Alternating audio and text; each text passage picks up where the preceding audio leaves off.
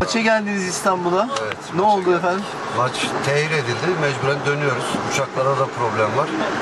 Çocuklar da yoruldular. Dünden beri yollardalar. Ankara gücünün Tepecik Spor'la Büyükçekmece'de maçı vardı ama maç yoğun kar yağışından dolayı iptal oldu. Bütün futbolcular şu anda Ankara gücü otobüsünde ama otobüs saatlerdir karda mahsur kaldı ve onlar da ilerleyemiyorlar.